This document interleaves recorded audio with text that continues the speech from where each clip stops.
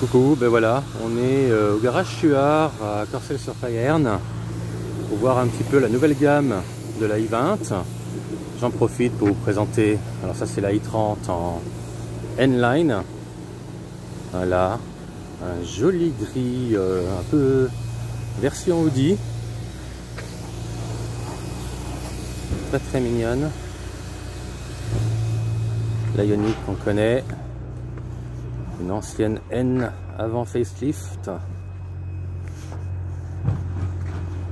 Encore une N-Line en gris euh, Aurora. Donc là pour info on est euh, chez eux pour le modèle exposé avec le 1,5 litre on est à 30 000, 30 000 francs. Voilà.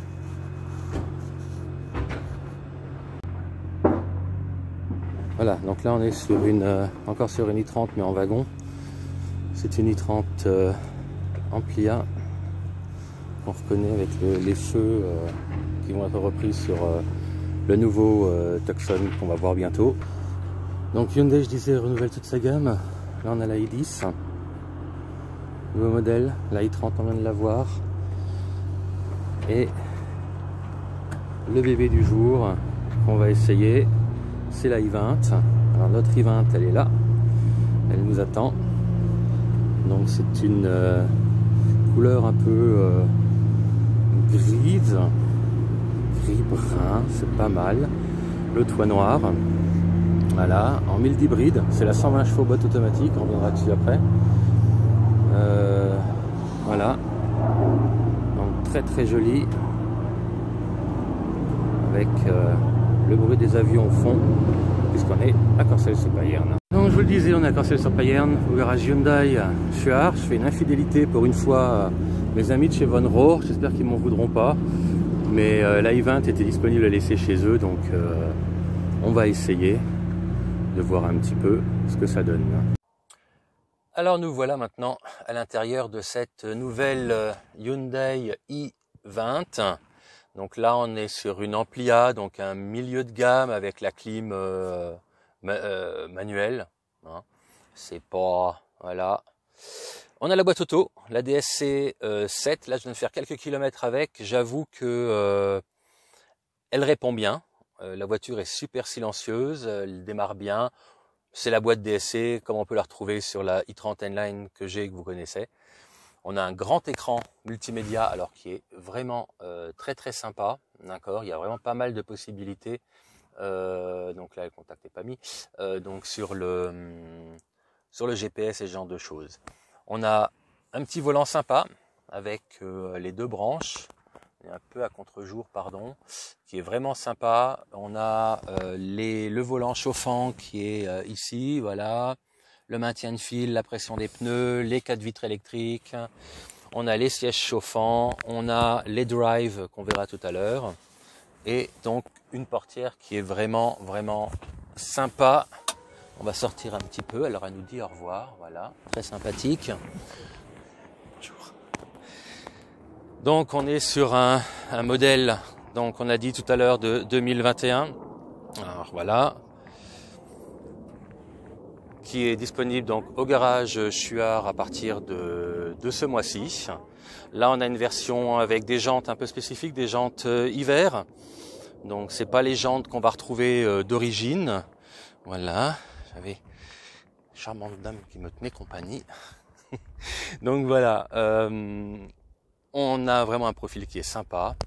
On a toute la partie ici en noir, qui sera donc en chromé sur euh, Vertex. Des rétros, euh, je sais pas si on les voit bien, mais c'est juste magnifique. C'est du 48 volts, donc euh, honnêtement j'ai pas encore vu l'intérêt, mais on va essayer. Euh, voilà. Donc là, comme dit, on est sur une Amplia, donc une version de base avec euh, les feux classiques halogènes, les clignotants classiques. On n'a pas les feux LED là, on les a dans la partie basse qui sont ici pour pouvoir effectivement répondre aux normes.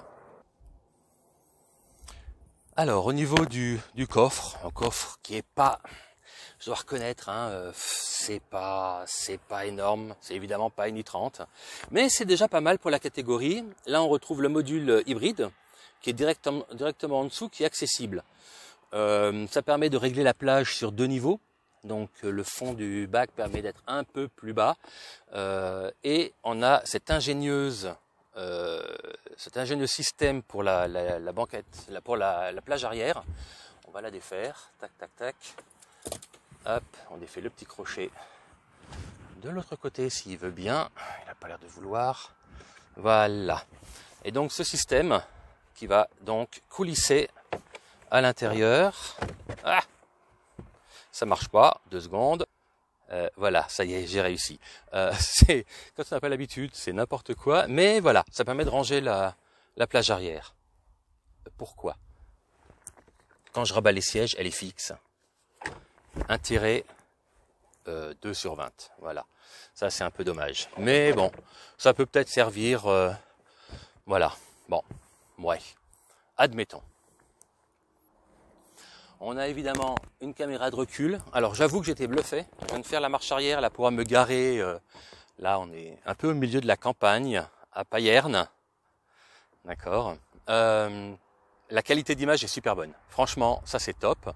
Là, on a euh, cette couleur avec le toit noir, ce qui est pas mal du tout non plus. Par contre, attention, incompatible avec un toit ouvrant. Pas de bol. Voilà. Niveau design, c'est des lignes qui sont vraiment très très euh, travaillées. Euh, ce qui me choque un peu, c'est la différence de hauteur entre les, les poignées de porte. Je sais pas si ça se voit bien. Elles sont pas du tout à la même hauteur. Ça fait très très bizarre. Euh, tant qu'à faire, moi je les aurais cachées dans le montant. Mais bon. sinon, ouais, c'est vraiment une jolie, un joli véhicule. Elle est vraiment sympa. je pense que la finition haut de gamme qu'on peut avoir en vertex sera vraiment top. Euh, faut que j'arrête de critiquer, mais le pot d'échappement, ça fait trabant. Euh, voilà, les radars de recul derrière, très bien. Franchement, c'est pas mal. Elle est jolie, euh, elle vaut largement une Fiesta ou une Polo. agrément de conduite, on y est, c'est pas mal. Franchement, c'est un très très bon produit de chez Hyundai. Euh, peut-être un peu cher par rapport à la concurrence, mais euh, franchement, on est sur un véhicule qui est vraiment pas mal. Voilà, donc on a repris place à l'intérieur pour admirer donc le, fameux écran euh, numérique euh, qui change. Donc là, je suis en mode classique, il me semble. J'étais en éco, voilà. Donc là maintenant, je suis en confort. Et là, je passe en sport. Donc ouais, bon, c'est pas mal. Les, normes sont les mêmes que sur euh, la i30, où on retrouve effectivement un peu plus de dynamisme quand on est en mode sport, un peu plus d'écho quand on est en mode éco, où les rapports passent beaucoup plus rapidement. Euh, l'écran est vraiment sympa, il est, grand, je veux dire par rapport à ma main, c'est pas mal du tout. Ah, j'ai activé les glaces, super. Et l'écran tactile central est pas mal non plus. Euh, on a surtout cette petite chose absolument très drôle. Alors, je touche un peu mon micro, pardon.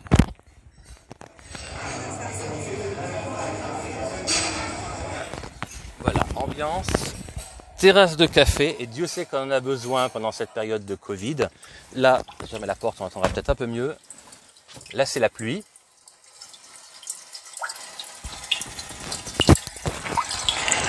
Voilà, donc là on se retrouve à l'intérieur de cette euh, i20 euh, bonjour c'est rare qu'on voie avec cet écran numérique. Là j'ai mis un mode pluie. Alors euh, ouais, je sais pas si vous m'entendez bien. On va baisser un peu. Il y a un clapotis de vagues. Ouais, je vois vraiment pas l'intérêt. Mais qu'est-ce que c'est fun Mais qu'est-ce que c'est fun euh, Alors par contre, il faut peut-être qu'on l'arrête quand même parce que euh, tac. Voilà, sinon on s'entend plus parler.